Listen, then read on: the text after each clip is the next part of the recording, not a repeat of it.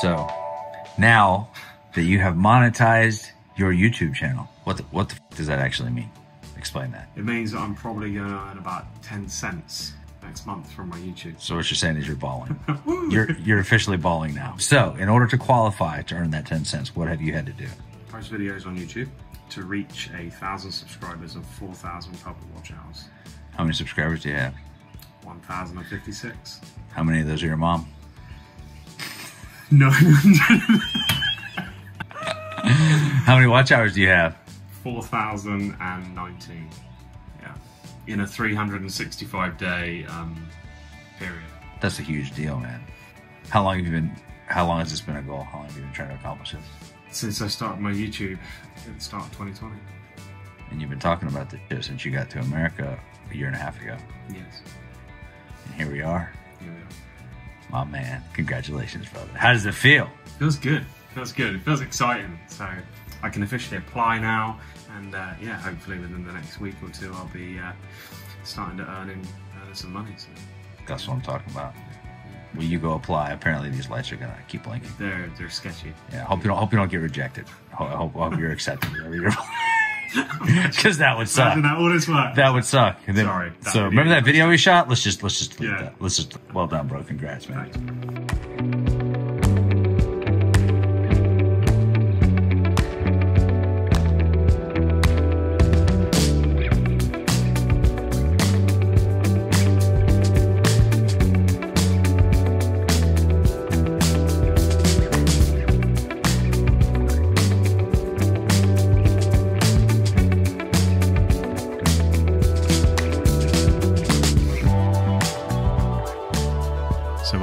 Three years, I've monetized my channel, and this was a feat that I thought was once impossible.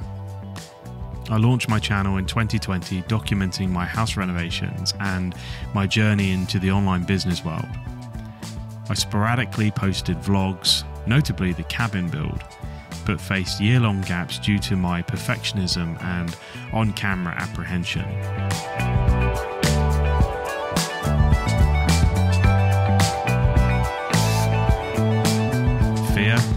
Especially judgment, thoughts and opinions of other people, have often held me back, leaving me feeling paralyzed.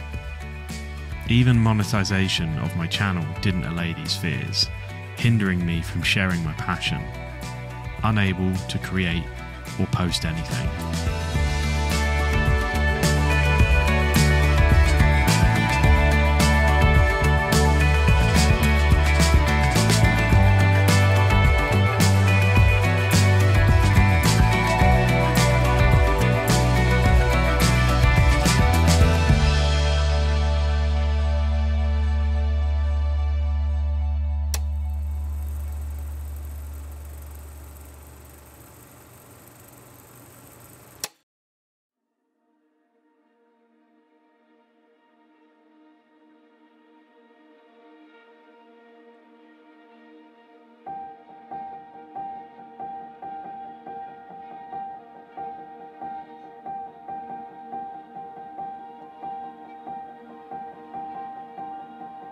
Even as a photographer, I've known for a long time that videos is what I'm most excited to create.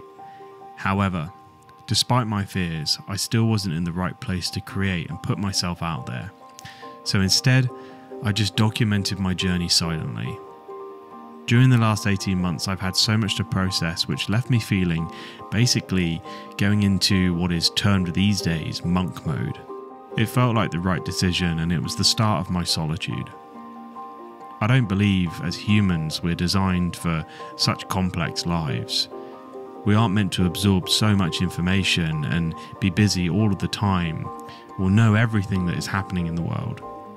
It leaves so many of us comparing our lives to others and takes away the joy of the everyday simple things that most of us today take for granted.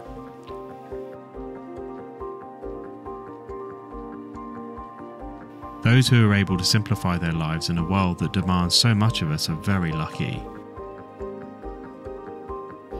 And this was one of the reasons for me going into monk mode and then heading off to the other side of the world to dig a little deeper and to find out if I could overcome these fears and actually start to live my life intentionally and do what I'm passionate about.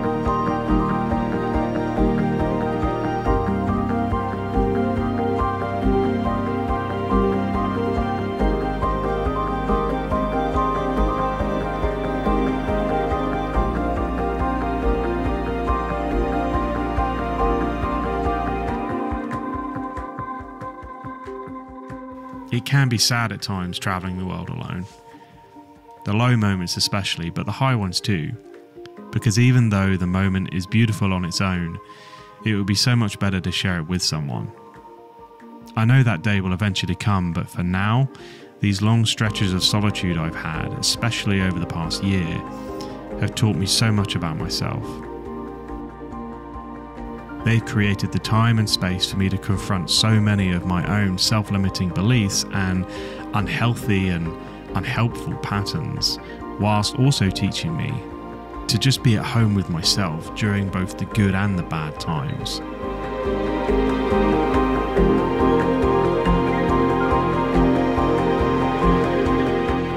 See, solitude has a way of inviting in emotions to the surface, and I've been learning to embrace those, sit with them, and then let them go one by one.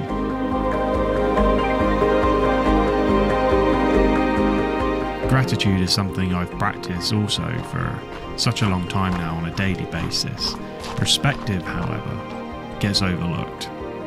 And traveling out here to Arizona gave me a huge amount of perspective. You see, for the past few years, one of the biggest reasons I've not put effort in with my YouTube channel is not only my lack of confidence surrounding fear and what other people will think of me and being judged, but also because I've just been chasing money.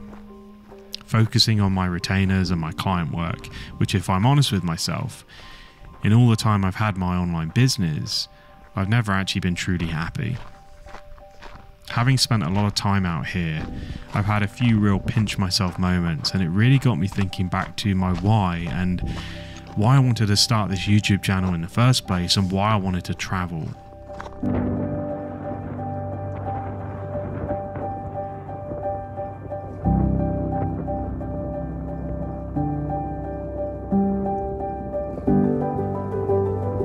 Phoenix really helped me reconnect with my core purpose, my why. And it's time now for me to overcome those fears and start again, guided by my original vision and what started this journey in the first place.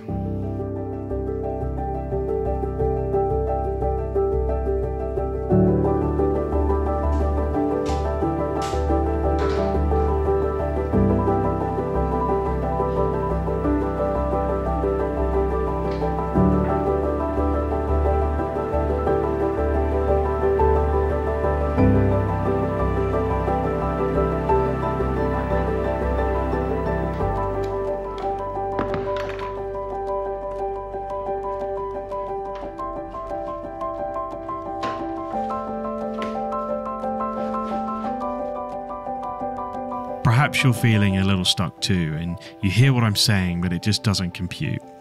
Look, I get it. It might be hard to see a way out right now, but believe me, it is achievable.